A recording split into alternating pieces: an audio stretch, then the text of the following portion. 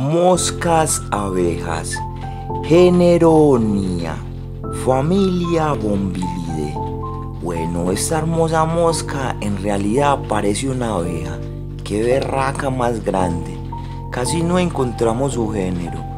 Pero una vez más vemos un animal al que es muy difícil ver por estos lados. Somos muy afortunados. Se alimentan del néctar y del polen de las flores, por lo tanto son polinizadores. Imitan muy bien a las abejas. Esto lo hacen con la intención que los depredadores no se fijen en ellos. No todas las moscas tienen los mismos hábitos. Algunas les gusta poner huevitos en los cuerpos. A esta le gusta comer florecitas y le gusta polinizarlas. Un ayudante más para nuestros jardines y para nuestros bosques. ¿Qué haríamos sin ellas?